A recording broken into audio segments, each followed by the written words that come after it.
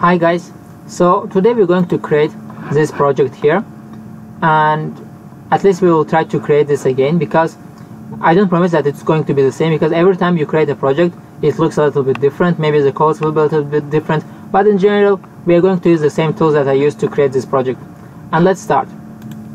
So first of all let's create a new project.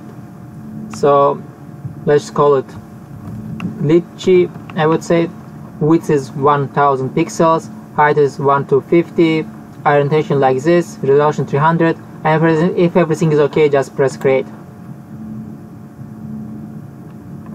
Now let's take our image here. If you're going to find it in project files and paste it here.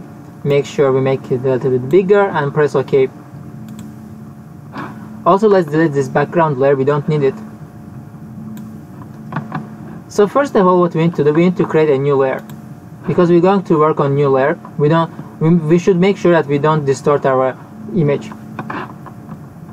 Now we should take smudge tool here. So what we can do now is make sure is smudge tool is 49% make sure you have selected sample all layers. And we can actually start working right now. So if we just start dragging here what is happening our image like it's getting already distorted you know similar to this one but it's not exactly the same effect as you can see. So what should we do? Let's go back. Edit step backward. Let's try something different. Let's go and use let's go here to our general brushes and use for example this this type of brush. Or no the first one with hardness at zero just round brush. Makes it a little bit bigger and let's start drawing. Let's see what happens this time. Okay. As you can see we're getting there but it's getting really really slow because I'm recording this video and working at the same time. That's why. So what we can actually do, we can press here once, and if I hold shift and press here once again, it's going to create this brush dog automatically. So you can see that it starts going already here, it starts moving, but it's actually pretty slow. Come on. Yep, almost. Uh, let's just do this again, so we need to make sure it's getting even further away. Okay, so as you can see, almost the same. Now we just need to change the color.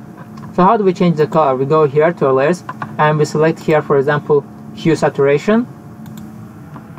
And now when we change the colors we just have to select the perfect color yeah something like this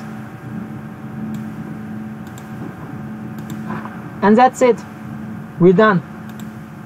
It's almost the same just a little bit difference in colors but I like this one as well. So uh, you can see that it's pretty easy. You just have to choose the right brush.